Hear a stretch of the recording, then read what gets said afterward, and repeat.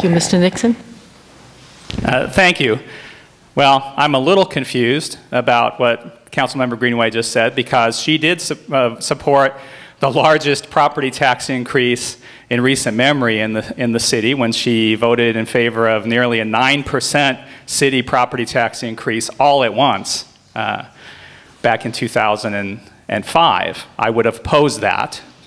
Um, but the thing I would focus my energy on, because I think that economic development is key to our city, is to change the business license fee head tax.